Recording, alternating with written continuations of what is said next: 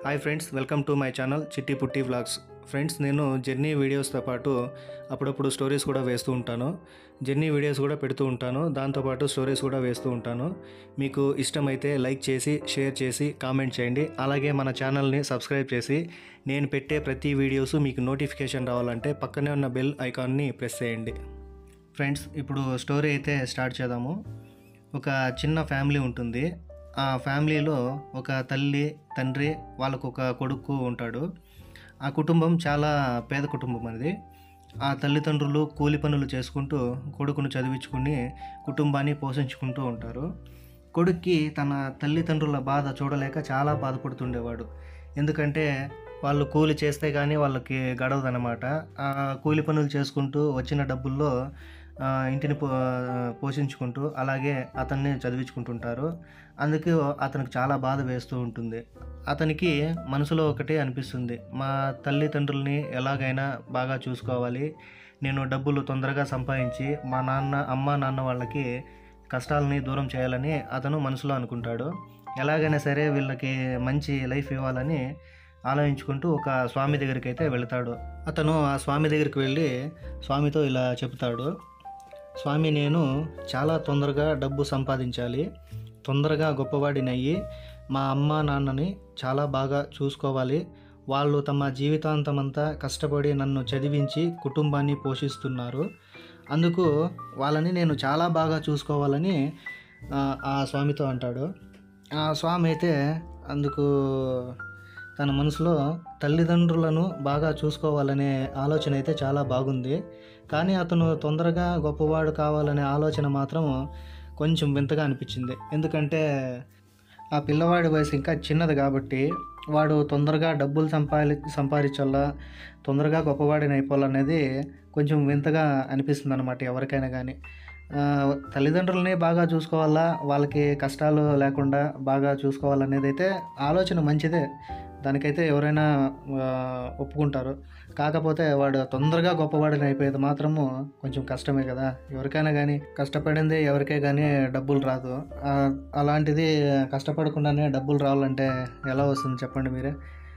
కష్ట కష్టపడి బాగా కష్టపడి చేస్తే కానీ ఆ డబ్బులు వచ్చినా కూడా మిగిలేదు కష్టమే మనకి. తొందరగా గొప్పవాడిని ఆలోచన మాత్రం తప్పు. అది ఎవరికైనా కానీ ఆ పిల్లవాడికే కాదు మనలో అయినా కష్టం లేకుండా డబ్బులు రావాలనేది మాత్రం పొరపాటు అది అలా స్వామి కుర్రాడిని తీసుకొని ఒక నది ఒడ్డుకైతే వెళతాడు. వెళ్ళి అక్కడ కుర్రాడితో ఇలా చెప్తాడు. ఈ నది ఒడ్డు నుండే రాళ్ళలో ఒక రాయిని చేతికైతే తగులుతుంది. ఆ రాయి చాలా వేడిగా ఉంటుంది. ఆ రాయిని నువ్వు తీసుకొని చేతిలో పట్టుకొని నువ్వు మనసులో మీ అమ్మ మీ నాన్నల్ని చాలా బాగా చూసుకోవాలనుకుంటున్నావు కదా. అది కాకుండా నువ్వు మనసులో ఏది కోరుకుంటే అది నెరవేరుతుంది.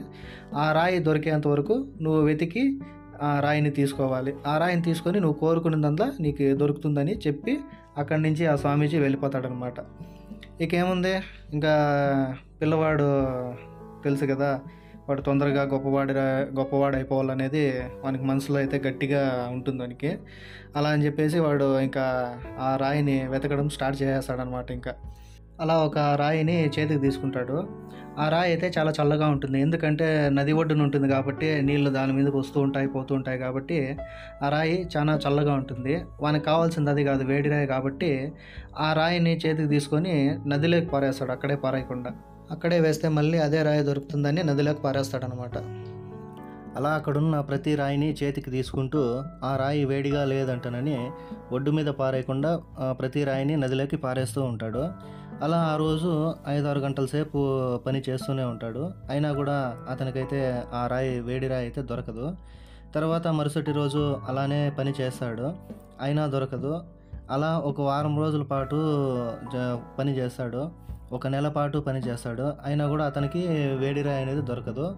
కాకపోతే అతను పని చేసే స్పీడ్ మాత్రం కొంచెం ఎక్కువ చేస్తాడనమాట అంటే రాయిని చేతి తీసుకోవడం తొందరగా పారేయడం తీసుకోవడం పారేయడం అలా చేస్తూ ఉంటాడు. అంటే వేగం ఎక్కువ పెంచుతాడనమాట ఆయన చే అతను చేసే పనిలో వేగం చాలా పెంచుతాడు. అలా ఐదారు నెలల గడిచిపోతాయి. కానీ ఆ రాయి అతనికి అయితే దొరకదు. అతను అయితే దానికోసం అయితే వెతుకుతూనే ఉంటాడు. రాయిని తీయడము నదిలోకి పారేయడము ఇలా వేగంగా చేస్తూనే ఉంటాడు. అనుకోకుండా ఒకరోజు ఆ రాయి అయితే దొరుకుతుంది. అతను అలవాటుగానే తీయడము నదిలోకి పారాయడము తీయడము నదిలోకి పారాయడము ఇలా చేస్తాడనమాట ఆ రాయి దొరికినప్పుడు అలానే చేసేస్తాడు. కానీ ఆ రాయి నదిలోకి పడిపోయిన తర్వాత ఆలోచిస్తాడు. నాకైతే వేడి రాయి దొరికింది కదా నేను ఎందుకు అలా పారేశానంటానని మనసులో బాధపడుకుంటూ ఉంటాడు. కానీ ఏం చేయలేం కదా. నదిలోకి పడిపోయిన తర్వాత మనము వెళ్ళి తీసుకోలేం కదా.